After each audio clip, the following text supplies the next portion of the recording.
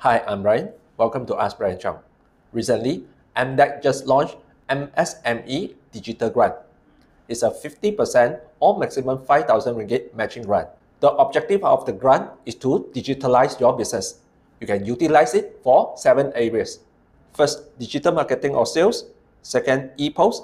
Third, HR payroll or CRM. Fourth, ERP or accounting. Fifth, digital signature. Sixth, cyber security. And last, IoT. You need to fulfill the following criteria to eligible for the grant. First, you are a registered company under SSM, SKM, or local authority.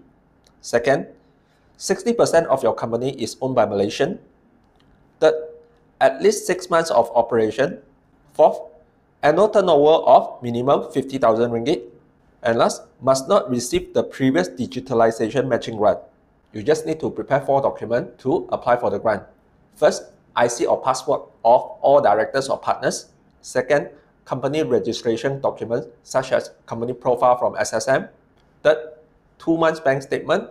And lastly, the quotation or invoice from your vendors. You can submit all these documents to your vendors and let them help you to apply accordingly.